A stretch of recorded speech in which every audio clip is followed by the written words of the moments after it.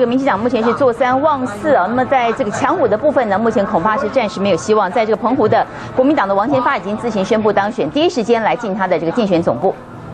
向前行，澎湖还有很长的路，需要所有的乡亲大家携手共同迈进。我想整个选举的一个结果。让我更加的相信，只有融入各种不同的澎湖建设的思维，才能够让这个地区的人民更加的团结，更加的合作。千言万语，感谢我们。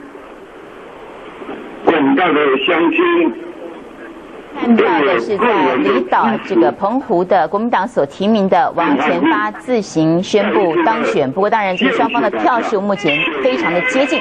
那么，最后的这个计票的票数还有当选名单，还是必须要以中选会公告为准。